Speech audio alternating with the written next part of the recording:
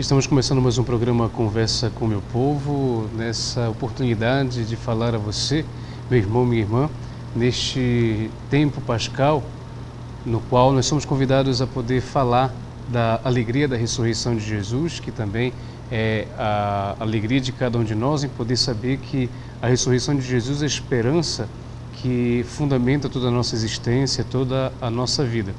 E estamos, ao longo desses programas, falando sobre o que é a ressurreição, segundo a nossa doutrina cristã católica, o que é a ressurreição do ponto de vista teológico, a partir do Concílio Vaticano II e mais ainda no Catecismo da Igreja Católica. Como vocês perceberam nos programas passados, nós começamos falando sobre a sessão, na primeira sessão do Catecismo da Igreja, em que fala da, da creio na ressurreição da carne. Nós professamos todos os domingos na Santa Missa, uh, cremos na vida eterna, cremos na remissão dos pecados, cremos na Igreja una, santa, católica e apostólica, e também temos uma expressão que é justamente essa, creio na ressurreição da carne.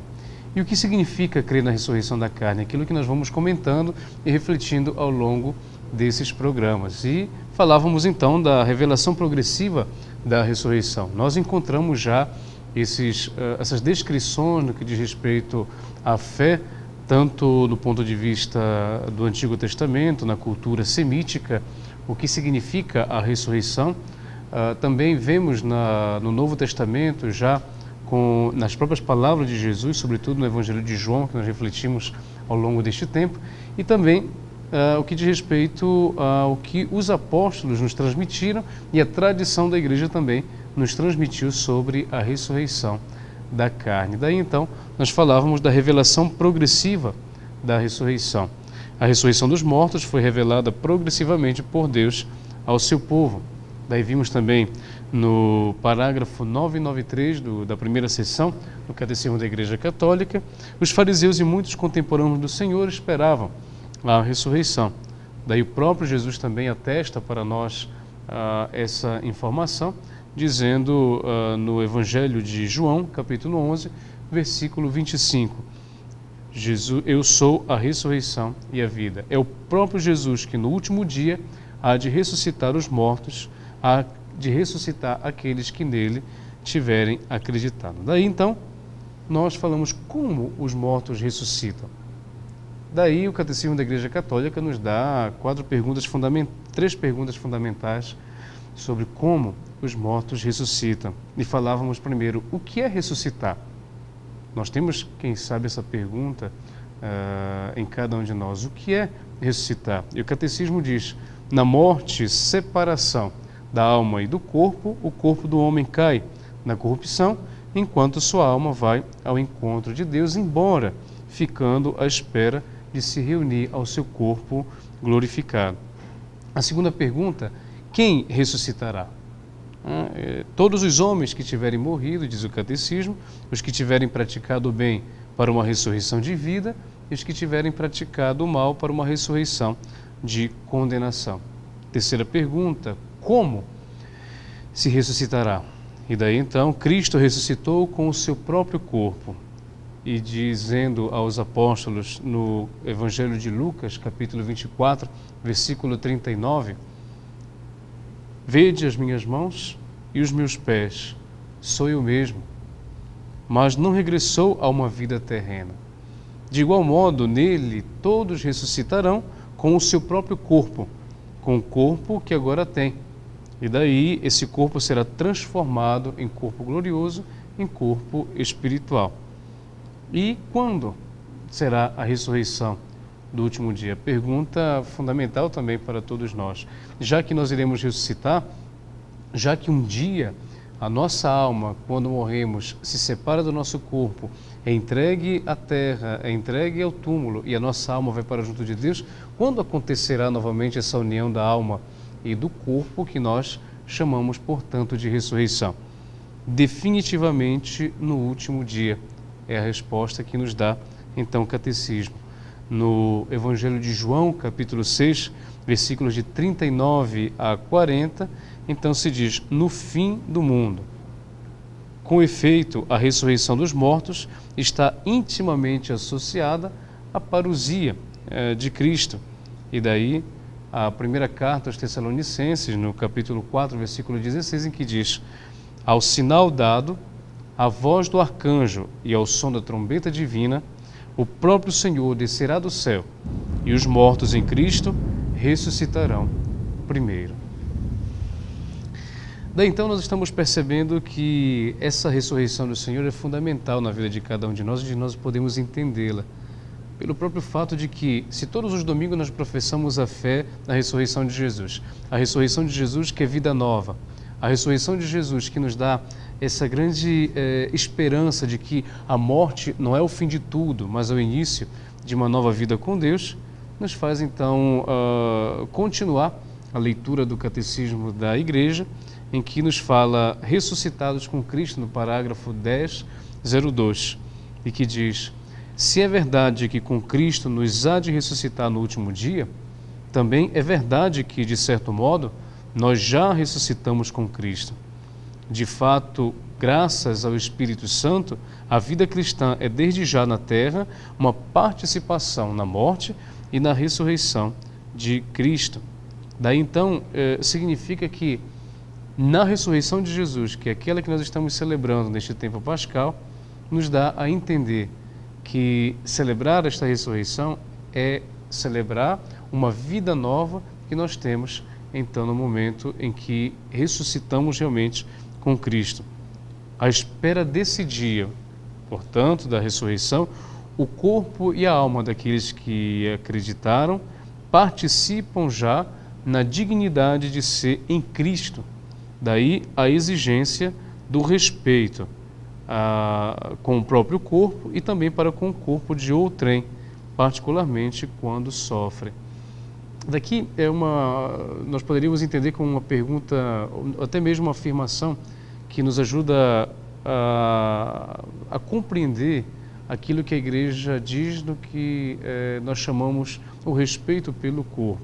Já um discurso moral, um discurso ético, já entramos no próprio catecismo, eh, nós temos o discurso eh, também a partir da oração do Pai Nosso, ou seja, que de fato o respeito pelo corpo tem como fundamento teológico esse fato de nós acreditarmos que o corpo, sendo o templo do Espírito Santo, ele também é o lugar onde nós eh, um dia iremos ressuscitar para poder estar com Jesus.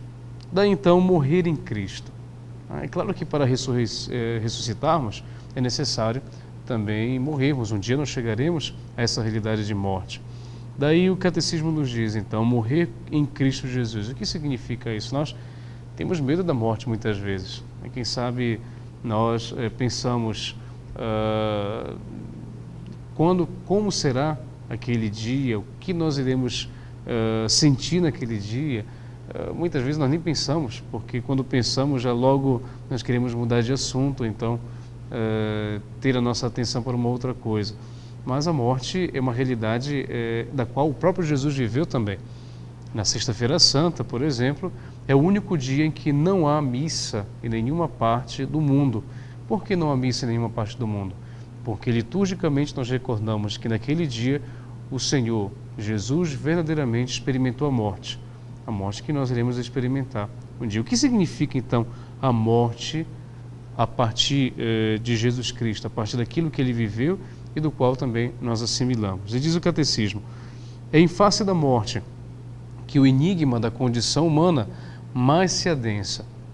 Num certo sentido, a morte do corpo é natural, mas sabemos pela fé que a morte é de fato salário do pecado, ou seja, carta aos Romanos capítulo 6, versículo 23. E para aqueles que morreram na graça de Cristo, é uma participação na morte do Senhor, a fim de poder participar na sua ressurreição. Então, daí nós vemos dois significados que damos à morte do ponto de vista cristão. Primeiro, do ponto de vista físico, né? em certo sentido, a morte do corpo ela é natural.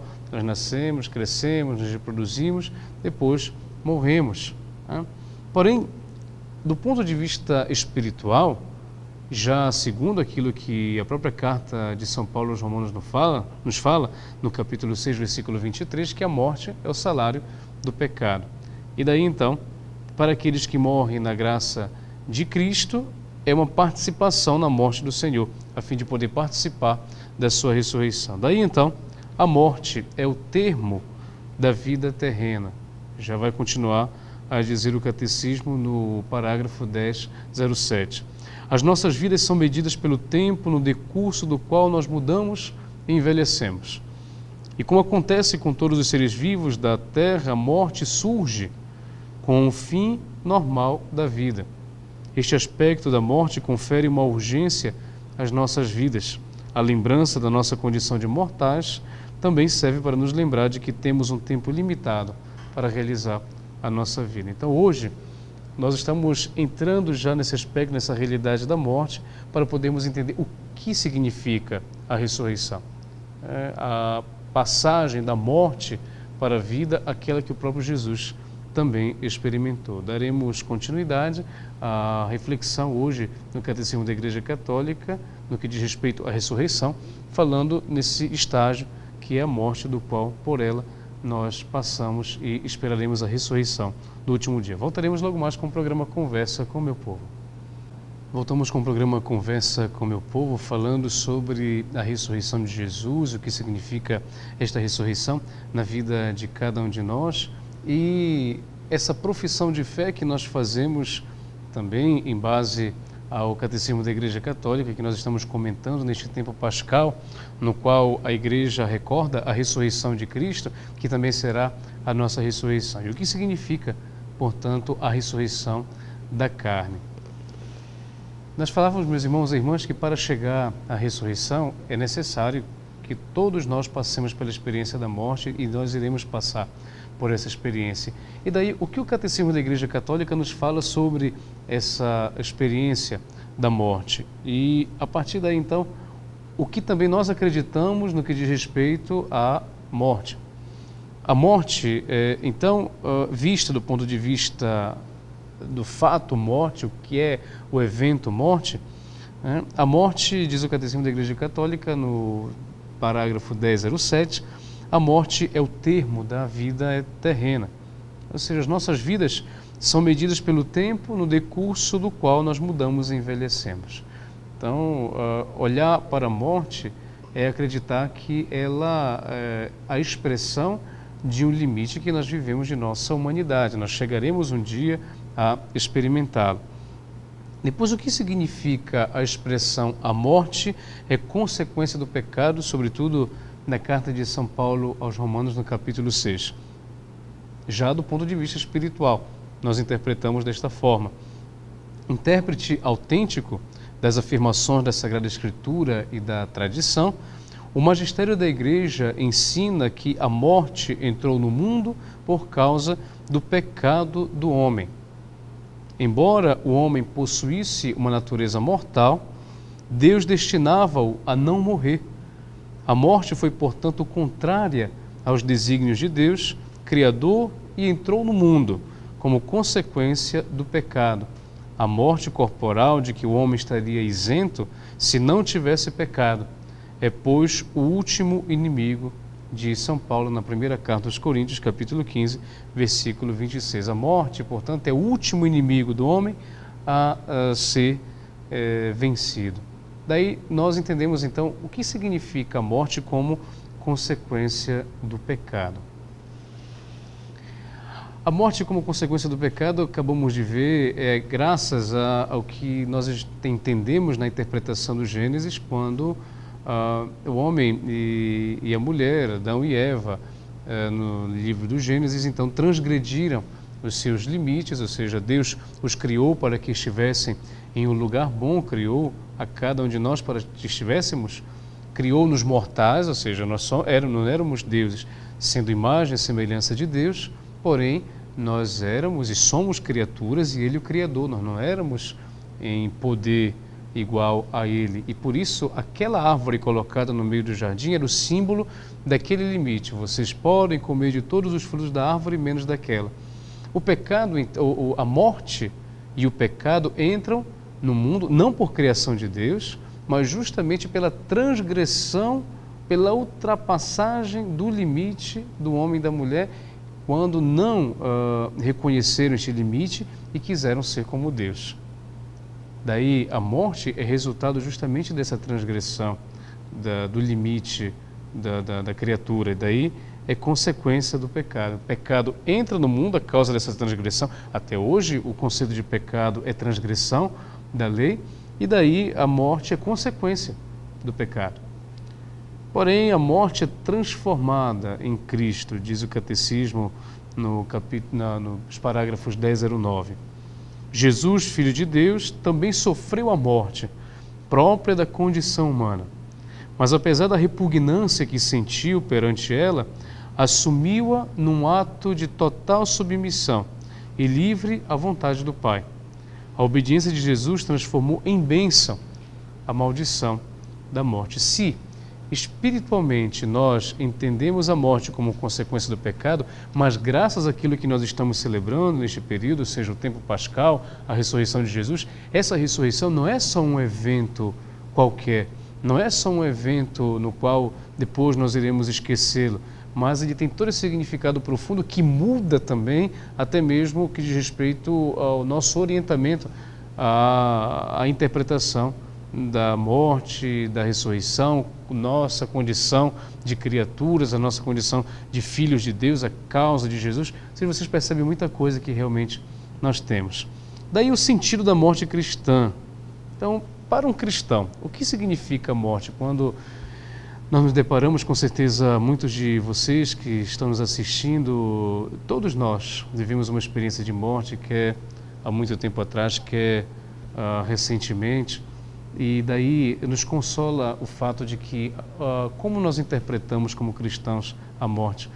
Muitas vezes, quando nós acompanhamos um funeral, uh, é até prudente que não se fale muito, porque o que fala ali é o coração partido, é o coração saudoso, é o coração muitas vezes que está se perguntando por que naquele momento. Porém, meu irmão, minha irmã, nós sabemos que Deus sempre tem uma resposta às nossas questões, tem sempre uma resposta às nossas dúvidas. Uma delas é justamente essa, que é o sentido da morte cristã para cada um de nós. Graças a Cristo, diz o catecismo então no parágrafo 10, 10, Graças a Cristo, a morte cristã tem um sentido positivo. Para mim, viver é Cristo e morrer é lucro, diz São Paulo na carta aos Filipenses, capítulo 1, versículo 21. É digna de fé esta palavra. Se tivermos morrido com Cristo, também com ele viveremos. Segunda carta a Timóteo, capítulo 2, versículo 11. A novidade essencial da morte cristã está nisto pelo batismo, o cristão já morreu com Cristo sacramentalmente para viver uma vida nova. Se morremos na graça de Cristo, a morte física consuma este morrer com Cristo e completa assim a nossa incorporação nele no seu ato redentor. Tá?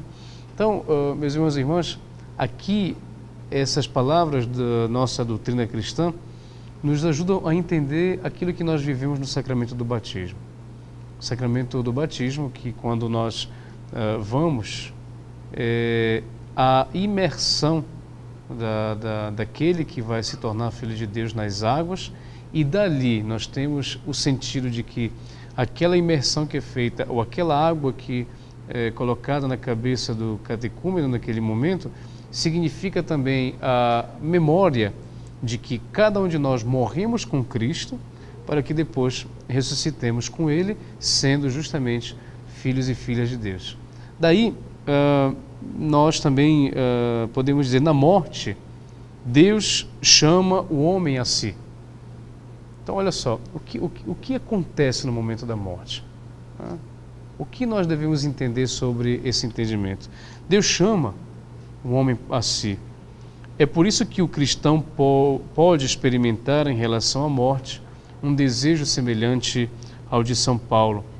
Desejaria partir e estar com Cristo. Carta aos Filipenses, capítulo 1, versículo 23. e pode, e pode transformar a sua própria morte num ato de obediência e amor para com o Pai, a exemplo de Cristo Jesus.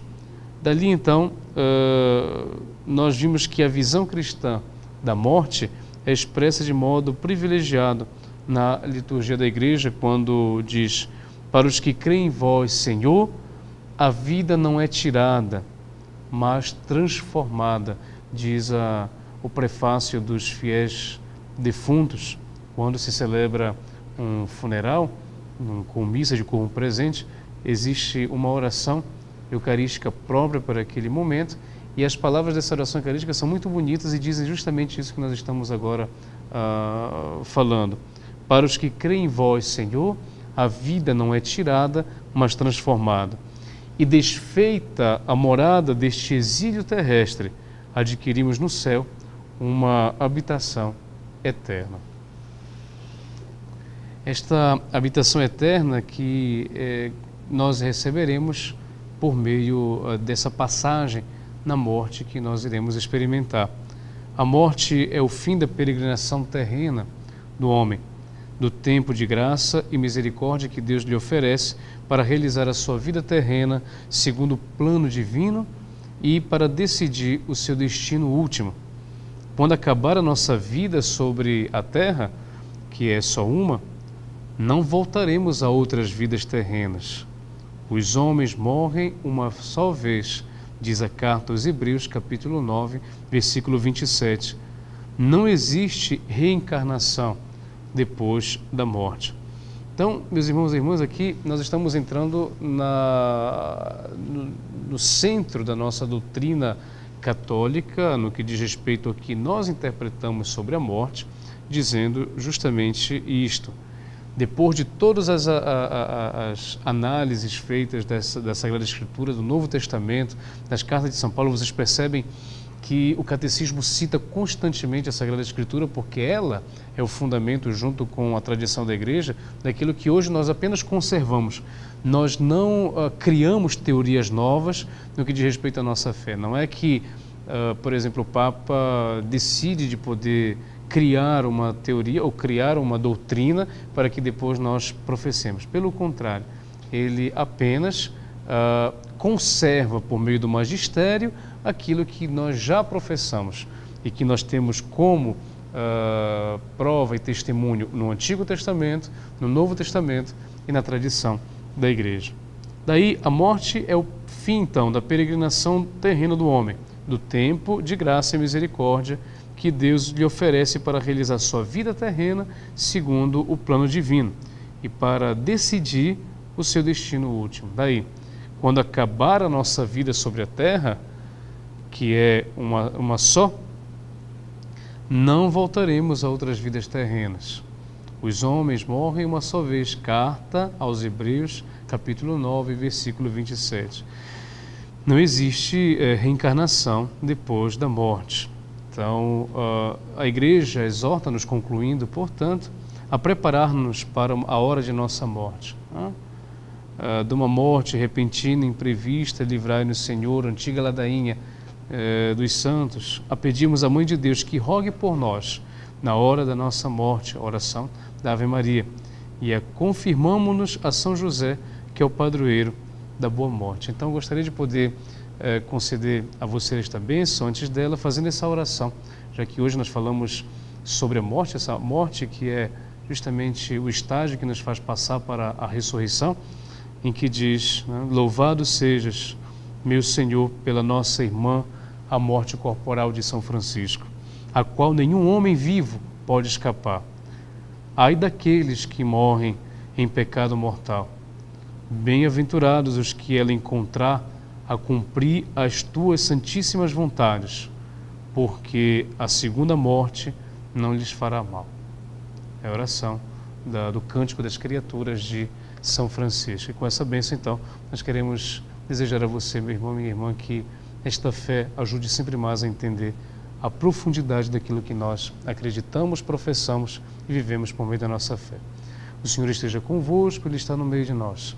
Abençoe-vos o Deus Todo-Poderoso, Pai Filho, Espírito Santo. Amém.